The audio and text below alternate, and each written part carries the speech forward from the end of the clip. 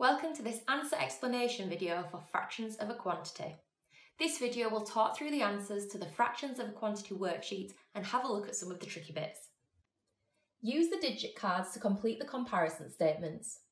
Each digit card can only be used once, but two digit cards can be placed in one empty box.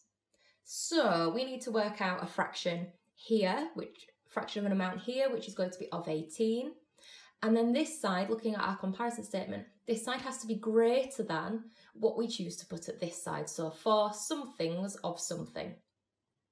We then need to, using the, digits we have left, complete the second part.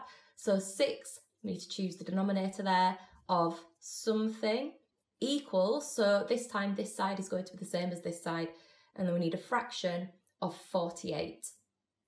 There might be an element of trial and error with this question. We might try a digit and then it might not work, so we might put that digit back. I've written my digits along here so I can cross them out as I've used them and then I make sure I'm not repeating any of the digits. It's important to remember as well that we can actually use two digits in one box, so we might need to mix up two digit numbers. I'm going to have a think then, and I'm going to start with just by trial and error, there's going to be different ways to answer this question, and I'm just going to talk you through one of them.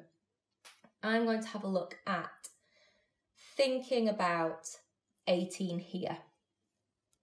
I know that I could easily use sixths with 18 because 18 will divide by 6. So I'm going to put a 6 as my denominator there. I'm just going to cross that one out so I don't reuse the 6.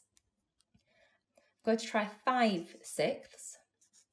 So 5 sixths of 18, so 18 divided by 6 is 3. 3 times 5 is 15. So I'm just going to write up here that my answer to that bit is 15. So this side needs to be greater than this side. So for some things of something needs to make sure, we need to make sure it's smaller than 15. So we could have, I've got two twos, two fours and two eights. I could actually have four quarters because that would give me the full amount. And then looking at what I have left, I could use 8.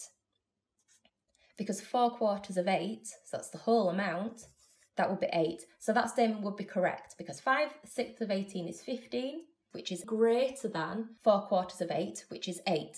So now you can see which digits I have left.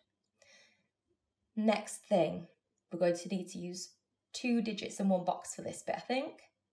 I could use eighths here, to cross out my other eight, and then I could use two digits together to make 32. So 32 divided by 8 is 4, times 6 is 24. So whatever I put here needs to equal 24, so they need to be the same on both sides. Uh, 48. I know that if I double 24, I'll get 48, so I'm looking for a half. And I do have a 1 left and a 2 left, to make one half. And one half of 48 is 24, so that must be correct because both sides are the same. And I think I only have this one left. So we use most of the digits that way around. There might be more than one answer, but that's one possible way to do it.